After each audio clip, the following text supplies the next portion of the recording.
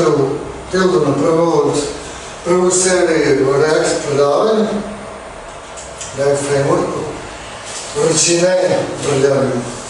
I ovaj, na početku izvinjenja, kao i svaki uvod, malo je dosadan, prvo da se upoznamo sa, sa nekim terminima, pre nego što krenemo na, da radimo stvarno nešto pametno sa tim, sa tim frameworkom.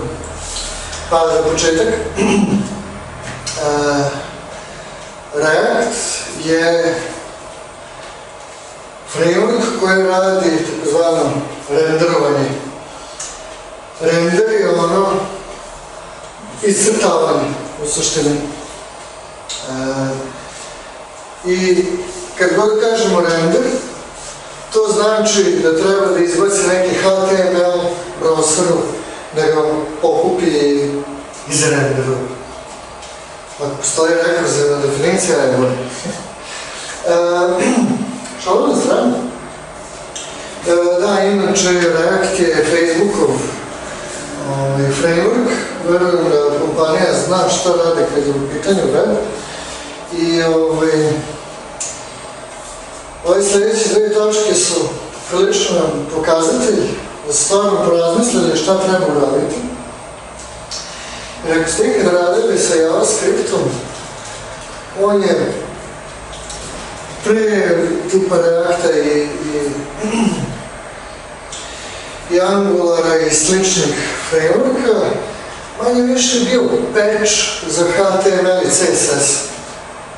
E, međutim, ljudi u Facebooku su skontali, ako je, ako mi pravimo render, koji u suštini manipuliše HTML-om, onda mi u suštini treba da napravimo framework koji zna šta je HTML iz JavaScripta. Tako da, uh, lepa stvar je što rad sa Reactom na početku je rad sa HTML-om i CSS-om i nije potrebno nikako dalje znanje, ali to ćemo već vidjeti malo. Ovaj, koji primjer za, za koji slajd.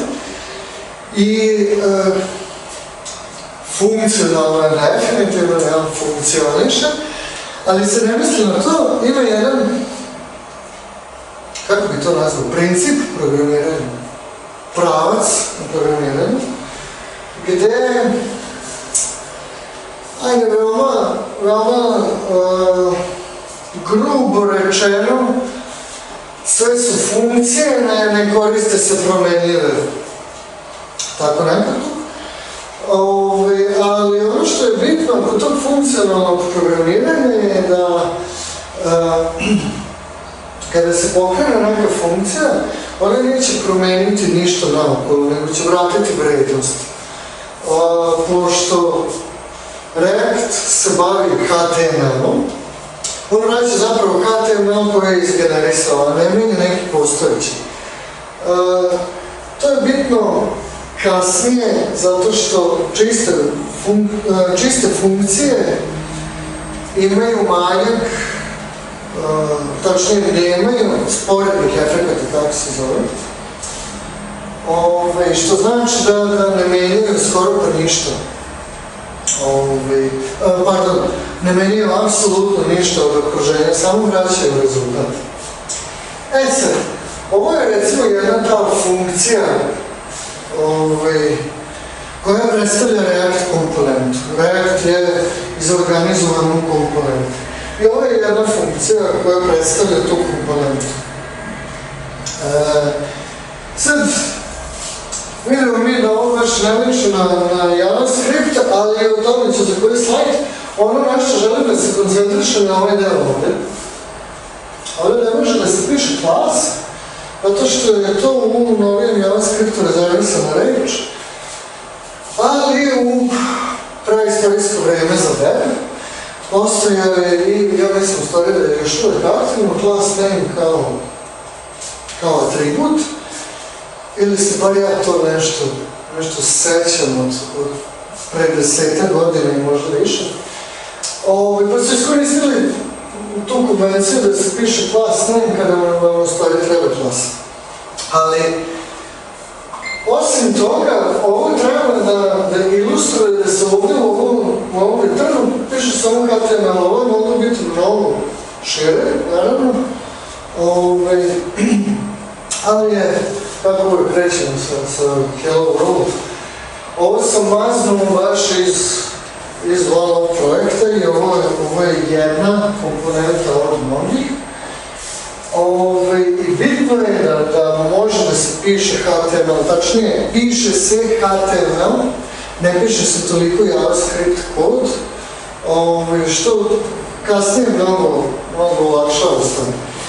Međutim, ajde vidimo šta je to, šta je to React uopšte. Prva stvar ispod haube kojom se mnogo hvale je takozvani virtualni dom.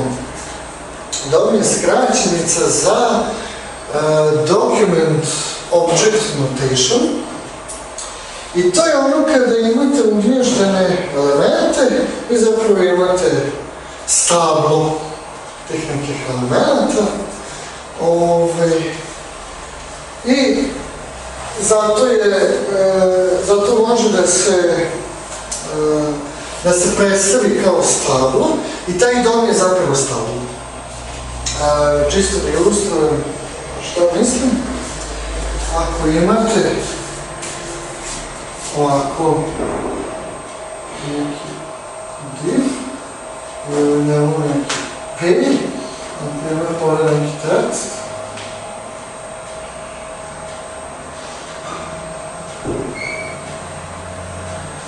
ovako recimo.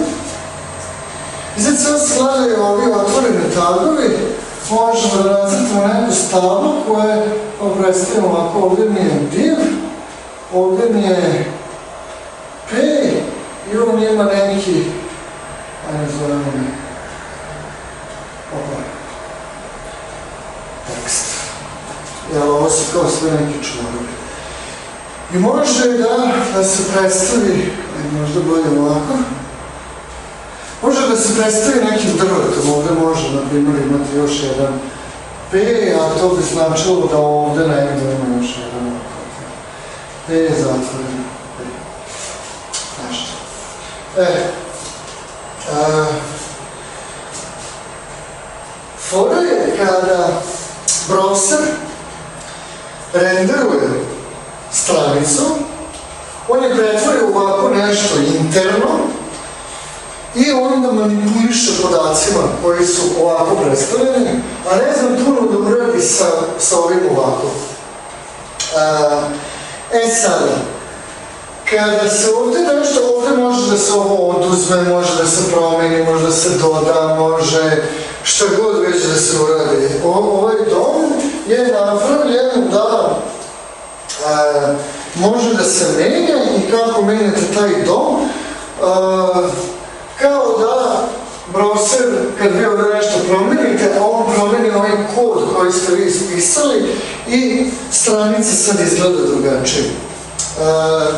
Međutim, zašto virtualni dom? Pa zapravo on napravi jednu ovakvu kopiju ovoga. Kada se nešto menja, napravi. I vi to izmenite sad kako je vama palo na pamet. Ovaj, dešava se tu nešto. I onda izračuna razlike između ove kopije koja je izmenjena i trenutnog stanja i primjeni samo razlike. Tako je mnogo brže. Čemu cijela ova zebancija? Zato što je dom operacije su jako spore. I onda da ne bi menjali celo stablo jedno drugim, pošto ako promenite direkt na domu, ja mislim da on iscrta sve. Ne znam, katastrofa je spor.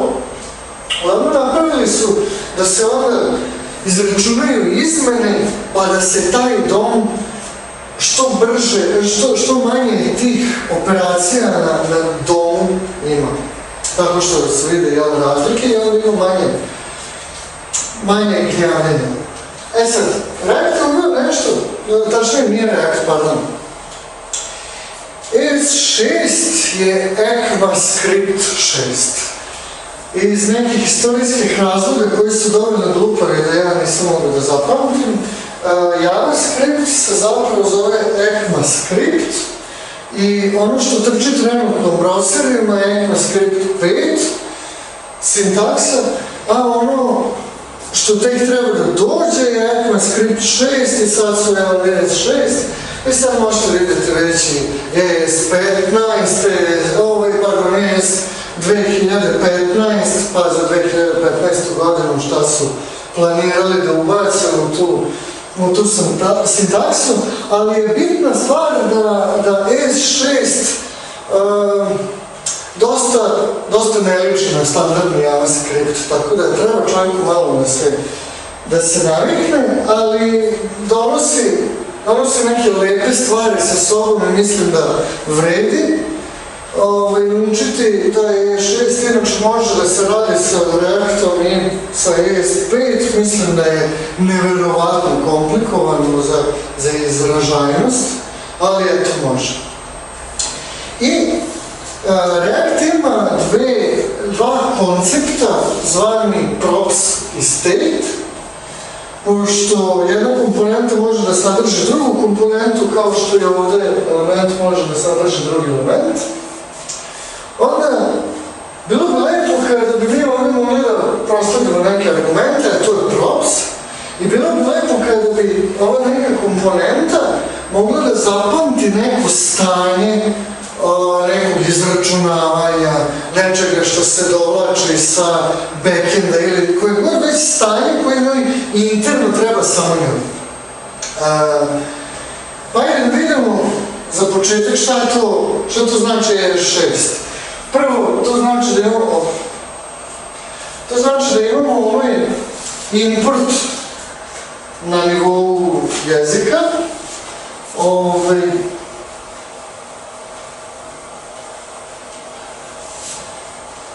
koji malo malo liči na Python i evo ja izjavim ovaj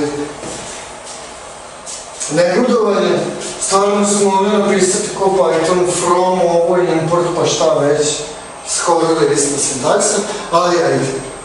E, ono što se menja u odnosu na ranije, kad se radilo sa require, na primjer, koja je u stvari bila biblioteka, on mora da je na početku fajla. Ne može sad ovdje nešto if ovo, import ono, else import nešto drugo. Nego importe su uvijek na početku fajla i nema nikakve logike uh, nikakvih switcheva i grananja u vezi importa. To mora da bude tako i, i kraj priče. I ove, ovdje nemamo donosi nove funkcije koje se zovu fat arrow, donosi ovaj,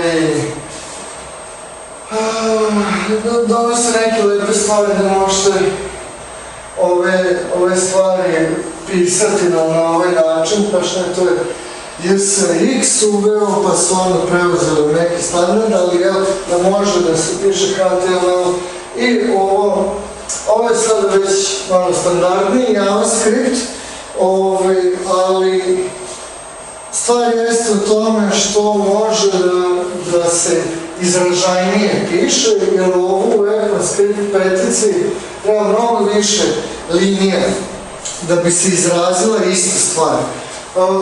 Ja recimo preferiram i u stvari šta, šta opet, ne znam niko ko ne preferira. E sad, spomenuo sam props i state, pa ajde da vidimo jedan primjer propsa.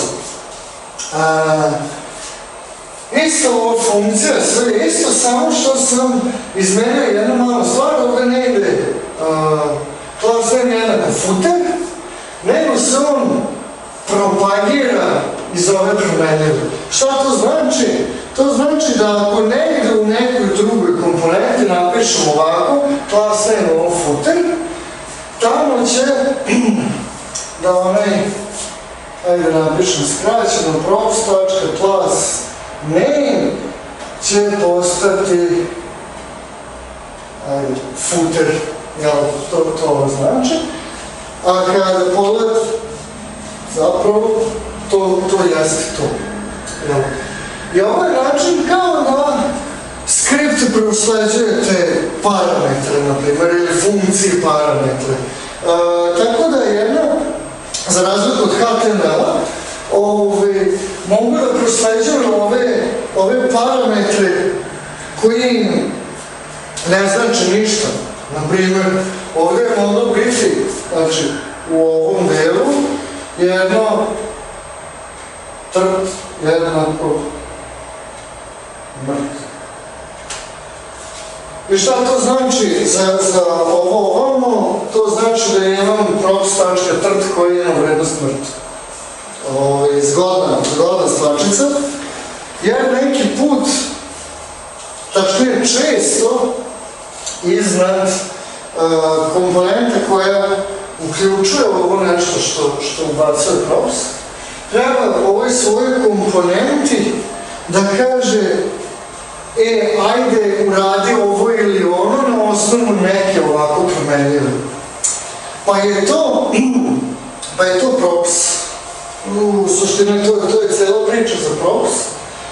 I props nije ništa komplikovano, on je JavaScript objekat, ali ga React tako lijepo inicijalizuje da ovo postane ono.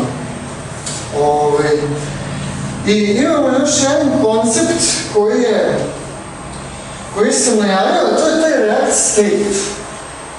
Uh, state je pored toga što je lokalan za komponentu, ima, ima još neke stvari, jel nema uh, koji ima komponentu, koji uključuje komponentu, ova komponenta može da zna props od ove komponente, ali ne može da zna state.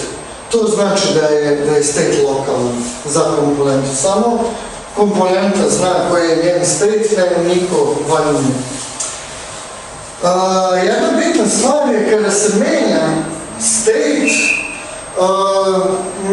okida se render, to znači iscrtava se onaj izračunava se onaj uh, kopija doma, virtualni dom radi diff i, i te stvari. Uh, što znači, svaki put kada promijenite state, okinut ćete render sigurno. To iskreno važi i za props. Ovo, ovaj, ako se negdje props promijeni, to će da se izrenderuje ponovno. I jedna stvar koja je koja je dosta čest, česta a, često uzrok greške je da se state ne postavlja direktno, iako je objekat, nego uh, ide kroz set state koji uradi još neku dodatnu provjeru i ovaj, vidjet ćemo na nekim kasnim predavanjima, uradi još neki konglomerat ove stvari, ali ajde sad da vidimo šta, šta je zapravo, šta je taj state. Ako imamo komponentu i u njoj ovu funkciju, ovaj event je jednostavno tu, postoji i e, prosledit će nam se kada kada nam bude trebalo. E sad, možda najbolje da krenemo od ove. U state imam email, ja ću ovako ispisati vrednost tog emaila. I ovo je, ovo je kako se on u renderu. Kako se taj email koristi u renderu. Ali, što znači da ja ovdje imam neki blok u kome će on reći oh, your email is blah blah blah. I, aj, kažemo ovako. Ali nekad gore, na primjer, će imati HTML event ovaj input i onda će biti ovako baš, ne znam,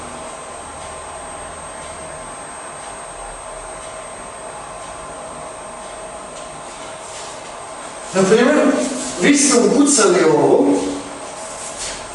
i šta će zapravo da se desi?